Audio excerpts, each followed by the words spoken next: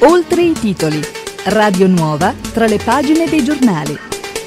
Oltre i titoli, gli approfondimenti, le interviste, le voci dalle Marche. A tutti un cordiale saluto da parte di Marco Morosini. Le Marche diventano area arancione. L'annuncio arriva direttamente dal presidente della regione, Francesco Acquaroli, il quale ha ricevuto nella serata di venerdì la chiamata del ministro della Salute Speranza per anticipare la comunicazione ufficiale della variazione della fascia di colore. Passando da regione gialla a regione arancione, le restrizioni diventano più forti. Tra le misure principali, i bar e i ristoranti potranno lavorare solo con consegna a domicilio o da sporto fino alle 22 e dovranno restare chiusi. È vietato spostarsi tra regioni e tra comuni se non per comprovati motivi di lavoro, di salute, di studio o necessità. Tali misure entrano in vigore il 15 novembre. Ascoltiamo il commento del presidente Acquaroli. Abbiamo sempre cercato di studiare nel dettaglio quello che avveniva nel nostro territorio e oggi ci è arrivata questa notizia che assolutamente è stato un uh, fulmine a ciel sereno, non perché nella nostra regione il virus non girasse, non perché eh, noi abbiamo cercato di, in queste settimane di non vedere quello che stava accadendo, ma perché oggettivamente i dati statistici su cui noi ci siamo sempre basati, i dati epidemiologici che sono stati alla base degli studi del nostro, uh, della nostra struttura, dal GORES alla dirigenza sanitaria, su cui ogni giorno riflettiamo, erano dati che eh, ci sembravano e ci sembrano assolutamente eh, diciamo, in linea con quello che accadeva nelle settimane scorse. Ma andiamo nello specifico per capire che cosa è accaduto di fatto. Calcolando l'indice RT della settimana scorsa, cioè della, della prima settimana di novembre, si è determinata una crescita sull'ultima settimana di ottobre che era una crescita pari a 1,55, cioè l'RT della, prim- della settimana scorsa di fatto è 1,55 e questo indice è stato calcolato sulla settimana precedente che era l'ultima settimana di ottobre. Per capirci, nell'ultima settimana di ottobre noi avevamo un indice RT molto basso, uno degli indici praticamente più bassi in Italia, che era 1,01. Di fatto, la crescita della settimana scorsa, dei sintomatici della settimana scorsa su quella settimana prima determina oggi il fatto che noi diventiamo una, eh, da quello che ci è dato conoscere fino ad ora, una regione arancione. I cittadini marchigiani saranno costretti a stare all'interno dei propri comuni se non per provate motivazioni di salute o di lavoro, migliaia di attività eh, saranno chiuse perché praticamente l'indice che si è calcolato è un indice che si va a basare sulla settimana scorsa sulla settimana prima. L'indice che riguardava l'ultima settimana di ottobre era un indice 1,01 che praticamente era come se ci fosse stato un indice di crescita molto molto molto basso nella nostra regione. Se la scelta va fatta, va fatta a tutela della salute e della sicurezza, ma credo che per tendere, chiedere una maggiore concertazione e anche una maggiore lettura di questi numeri e delle motivazioni per cui questi numeri oscillano così in maniera importante da una settimana all'altra, credo che era un atto dovuto non al presidente Acquaroli, non alla giunta di centrodestra, non alla nuova giunta o agli operatori sanitari o ai dirigenti sanitari o agli esperti del Gores, ma credo che sia un atto che era dovuto a tutta la comunità marchigiana che da, domani, da domenica eh, notte purtroppo dovrà subire e adempiere, perché vi invito pure ad adempiere questa ordinanza che eh, se è fatta ragion veduta è giusta, se non fatta ragion veduta può essere dannosa per l'economia, ma anche per quella che è, la, uh, per, per, quella che è il buon senso che credo che deve, deve sempre regnare forte tra le istituzioni e la cittadinanza e la comunità marchigiana. Si è svolta nel pomeriggio di giovedì, in modalità remoto, la riunione presieduta dal prefetto di Macerata Flavio Ferdani, alla quale hanno preso parte, oltre ai vertici delle forze dell'ordine, il direttore dell'azienda sanitaria regionale, i sindaci dei comuni di Macerata, Civitanova Marche, Potenza Picena, Recanati, Porto Recanati, Corridonia, Morrovalle, Montecosaro, Turentino, Treia, Camerino, San Severino Marche, Monte Cassiano, San Ginesio, Fiastra e delegati dei comuni di Civitanova Civitanova Marche e Montecosero per monitorare l'andamento delle misure di contenimento e gestione dell'emergenza epidemiologica da Covid-19. Ribadita l'importanza delle attività di informazione per assicurare il rispetto delle regole di condotta essenziali, quali l'uso della mascherina e il distanziamento fisico. Quali sono state le richieste dei sindaci?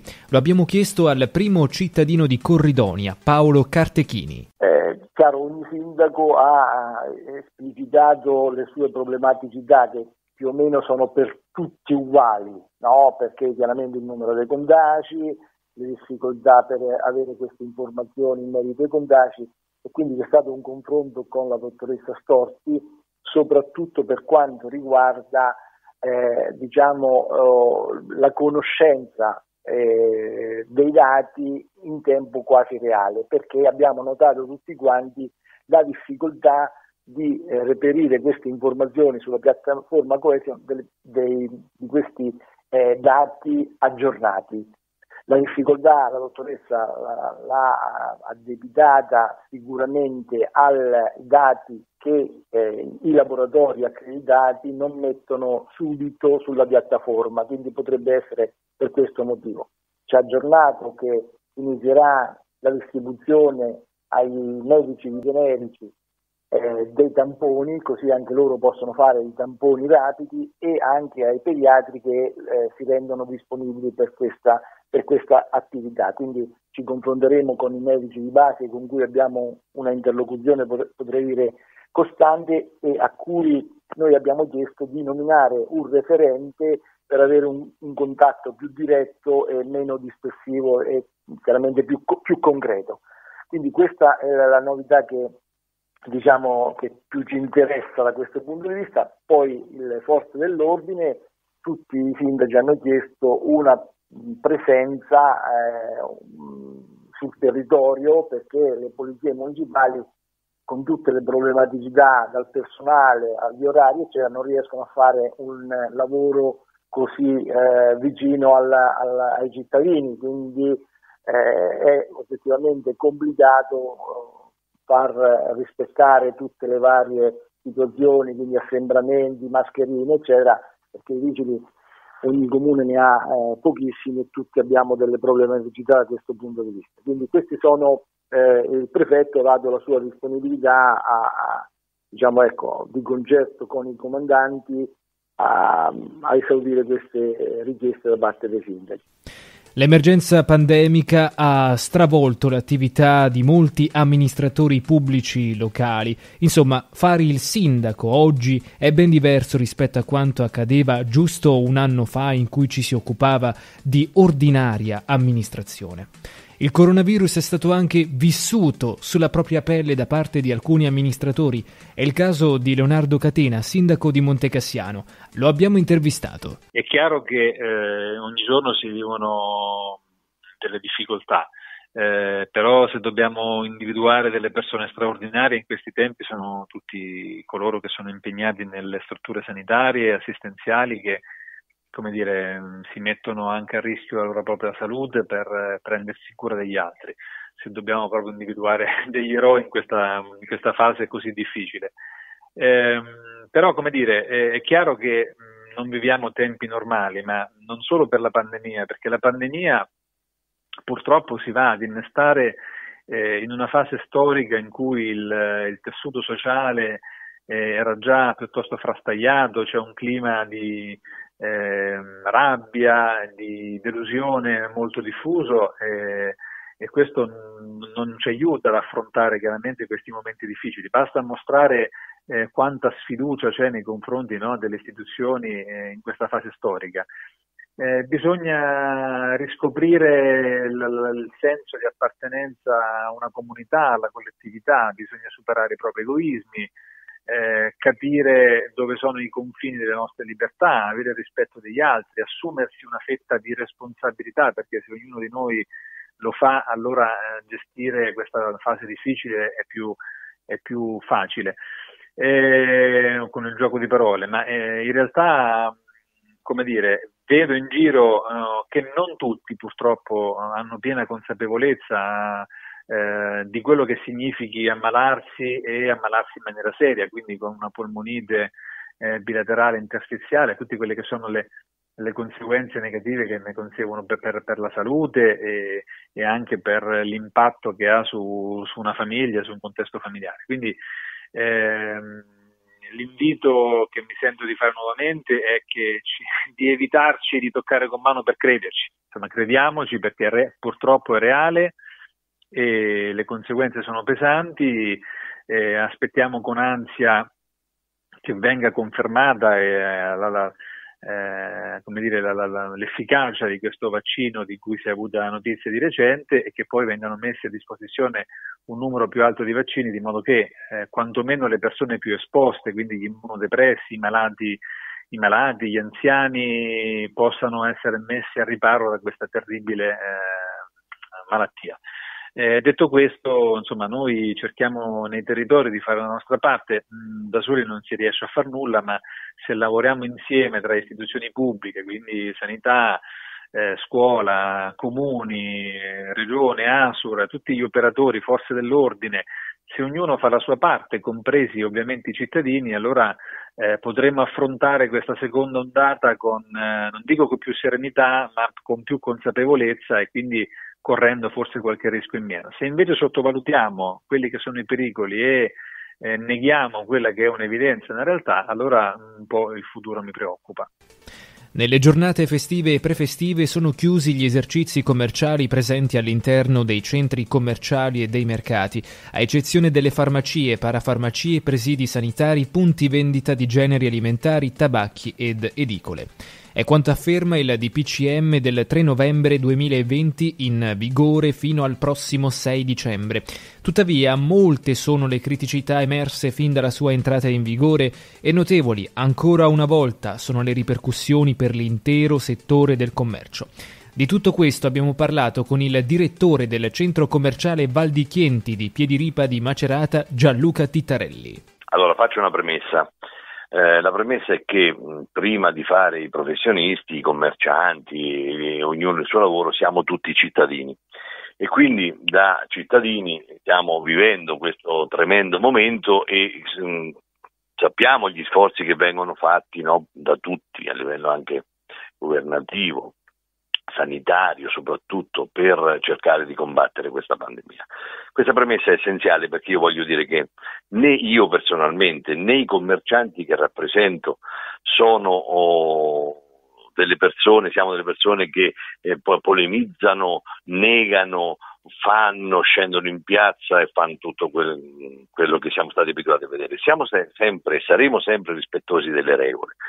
Il problema si pone però con quest'ultimo DPCM, dove se per, diciamo così, eh, se il fine ultimo di questa, di questa norma è quello di evitare gli assembramenti e quindi combattere il virus, bisogna dire con forza e con eh, veramente energia che questa, uh, questi assembramenti non si combattono ma si, vengono aumentati, perché se noi chiudiamo i centri commerciali e solo i centri commerciali, innanzitutto ci sono tre problemi. Innanzitutto il primo è che le persone che escono di casa il sabato e la domenica per venire in un centro commerciale e trovano chiuso, sia tranquillo che non tornano a casa e aspettano il lunedì per tornare, ma girano la macchina e vanno in un'altra direzione presso una struttura aperta una struttura che essendo aperta aveva già la sua clientela e che dovrà ospitare anche quella di uno dei tanti centri commerciali chiusi, quindi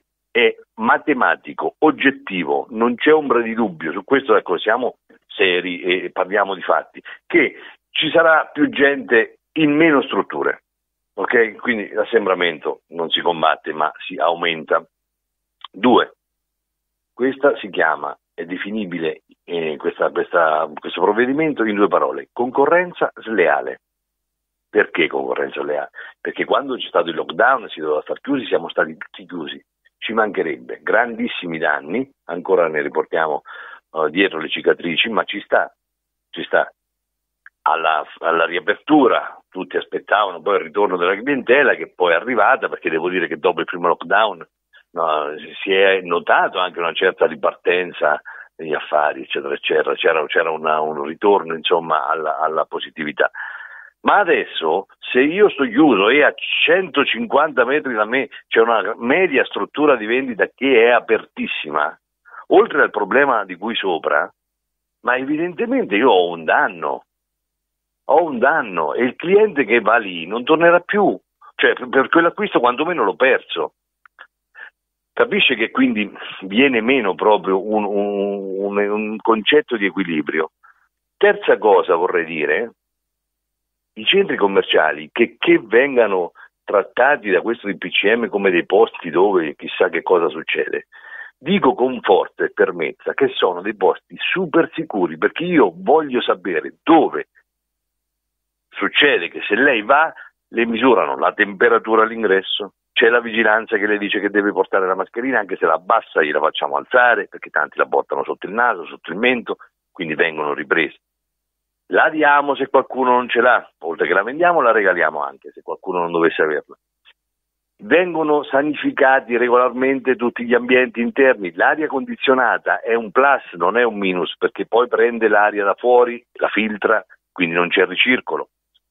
C'era il distanziamento perché poi tutti i negozi, questo in tutti i posti, non solo nei centri commerciali, è vero, ma dappertutto tengono no, il cartellino con si può entrare al massimo in. Quindi voglio dire, tutte queste misure, se io vado in un mercato rionale o se vado in un altro posto, a me non me la misura nessuno la temperatura. Nessuno. Io posso avere 38 di febbre e girare tranquillamente in un posto come quello ed essere un potenziale eh, sintomatico eh, che, che, che infetta la gente.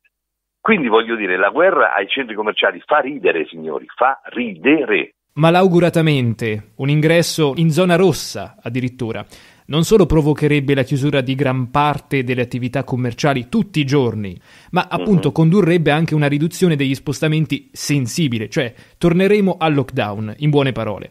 Ecco, dal sì. suo punto di vista, che è un punto di vista privilegiato, frutto anche di anni di esperienza in una realtà ben nota, quale il Val di Chienti di Macerata, realtà che ha 22 anni alle spalle, peraltro, è sostenibile, secondo lei, un inasprimento delle chiusure oggi e quali sono le ripercussioni di un nuovo lockdown sull'economia locale? Allora, um, evidentemente un nuovo lockdown sarebbe tragico, ma questo purtroppo non va d'accordo con quelle che sono invece le raccomandazioni sanitarie.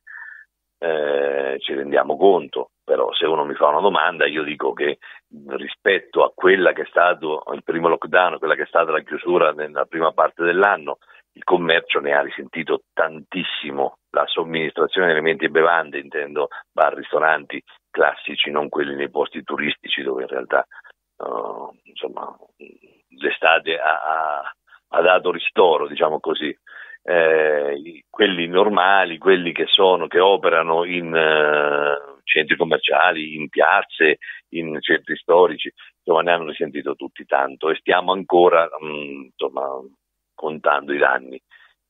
È chiaro che un altro lockdown sarebbe eh, tremendo, paradossalmente sarebbe, come dire, mm, più accettabile, sarebbe quasi più Uh, logico avere una, uh, se serve una chiusura, fare un lockdown per poi superare, speriamo, questo momentaccio tremendo in attesa soprattutto dei, dei vaccini, perché poi lockdown o non lockdown, qui il discorso è che si risolverà così. Eh, quindi magari aver fatto o fare un lockdown che è veramente tremendo, eh, non sto dicendo che, però dicevo all'inizio dell'intervista, siamo persone che sono cittadini prima di tutto e quindi ci atteniamo e vogliamo tutti superare questo, questa difficoltà. Forse sarebbe stato meglio quello che quello che c'è adesso, perché quello che c'è adesso non abbassa, non, non, non crea minori assembramenti, crea solo danni a qualcuno. Quindi mh, mm, forse avremmo accettato di più, guardi, una cosa comune, perché è così per tutti e quindi dobbiamo stringere i denti e andare avanti anche se è veramente difficile, piuttosto che questa cosa raffazzata in un modo indegno. E siamo in chiusura di questo spazio informativo dedicato agli approfondimenti e alle interviste. Oltre i titoli, veniamo come ogni fine settimana alle previsioni meteo sulle marche dal sito della Protezione Civile. Previsioni per domenica 15 novembre sulla nostra regione cielo nuvoloso per nubi basse stratificate, precipitazioni assenti, temperature senza variazioni di rilievo, venti deboli prevalentemente dai quadranti meridionali con intensità in aumento dalla serata nelle zone montane, mare quasi calmo. Durante le ore notturne formazione di foschie e banchi di nebbia nei fondovalle e zone di pianura. Previsioni per lunedì 16 novembre sulle Marche cielo nuvoloso con aumento della copertura nel pomeriggio per la formazione di nubi cumuliformi, precipitazioni deboli diffuse che assumeranno anche carattere di rovescio nel pomeriggio, temperature in aumento nei minimi e stazionarie nei massimi, venti sudoccidentali moderati nelle zone appenniniche con raffiche fino a vento forte, di brezza tesa dai quadranti orientali lungo la costa, mare da quasi calmo a poco mosso mosso. La tendenza per i giorni successivi miglioramento da martedì e tempo stabile per il proseguo della settimana. Ed è tutto per Oltre i titoli, l'informazione prosegue sul nostro sito radionuova.com e sulle nostre pagine social Facebook, Twitter ed Instagram di Radio Nuova. Da parte di Marco Morosini grazie per la cortese attenzione e buon proseguimento con i nostri programmi.